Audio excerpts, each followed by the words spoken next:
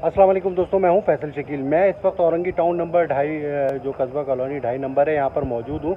और यहाँ पर जो है वो फायरिंग का वाक़ पेश आया है, जिसके नतीजे में दो अफराद जाँबाक और एक ज़ख्मी हुए हैं और इन्हें जो है वो फौरी तौर पर पहुँचाया गया है अब्बासी शहीद अस्पताल मैं। आपको बताऊँ कि यहाँ पर जो है वो गुज्त रोज़ आवाम ने जो है वो डकैती करते हुए एक शख्स को पकड़ के तशद का निशाना बनाया था, जिससे वो मर गया था और दूसरा जो है वो ज़ख्मी हुआ था।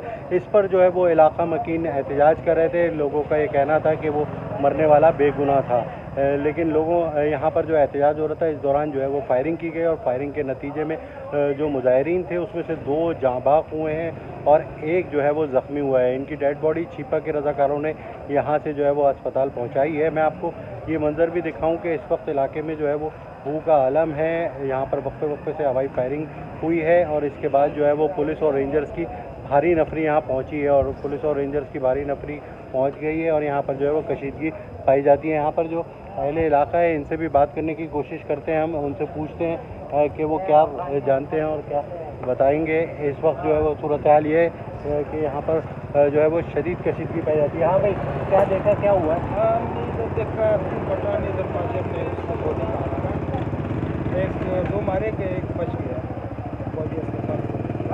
तो क्या हो रहा था यहाँ पर?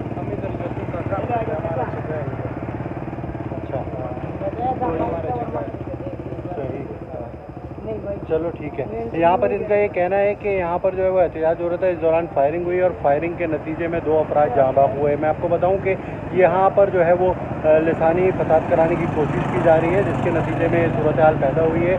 और यहाँ, यही वो इलाका है जहाँ माजी में जो है वो अक्सर व बेशतर जो है वो यहाँ पर लसानी तसादुम रहा है। तो यहाँ पर जो है वो पठान और महाजर का झगड़ा कराने की कोशिश की जा रही है और यही जो है वो एक चीज़ है। और कुछ ये भी इतलात है कि जो उर्दू स्पीकिंग लोग आ रहे हैं बाइक पे या गाड़ियों में तो उनको भी उतार के जो है वो तशद का निशाना बनाया जा रहा है। तो इस वाक़े के बाद इलाके में सूरत हाल ये है कि यहाँ पर कशीदगी पाई जाती है। पुलिस और रेंजर्स की भारी नफरी यहाँ पर पहुँची है फायरिंग के बाद और आप देख सकते हैं कि किस तरह से जो है वो यहाँ पर लोग मौजूद हैं और इस वक्त जो है वो पूरे इलाके में हूँ का आलम है बिजली भी गई हुई है। तो यहाँ पर सूरत हाल ये है कि कशीदगी पाई जाती है। लोग अपने घरों में महसूर हैं और पुलिस और रेंजर्स चाह रही है कि किसी तरह सूरत हाल पर कंट्रोल पाया जा सके और जो है पुरमन हो सके हालात। लेकिन इलाके में, जो है वो सूरत हाल कशीदा है और यहाँ पर यह भी बताया जा रहा है कि जो लोग हैं घरों में जिनके लोग बाहर दफातर गए हुए हैं, वो परेशानी के आलम में हैं और वो वहीं रुके हुए हैं क्योंकि यहाँ पर सूरत हाल कशीदा है और कशीदगी की वजह से जो है वो यहाँ पर लोग नहीं आ रहे। तो इस वक्त सूरत हाल ये है कि जो लोग घरों में हैं, वो परेशान हैं, इसके अलावा जो घरों से बाहर निकले हुए हैं, वो भी परेशान हैं।